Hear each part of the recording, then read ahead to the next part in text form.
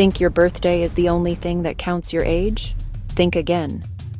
There are actually two types of age chronological age, biological age. Chronological age is simple it's how many birthdays you've had, it's the number on your license, it's the number on your cake, it's the number on your forms.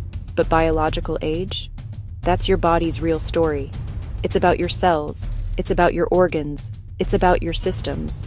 You could be 30 on paper, but if you eat well, exercise, and manage stress, your body might be rocking it like a healthy 25 year old. On the flip side, unhealthy habits can make your biological age older. Track sleep and recovery. Talk to a pro for real tests. Small daily choices shift your biological age. So, next time someone asks, How old are you? Think about your body, not just your birthday candles. Which age do you care about more?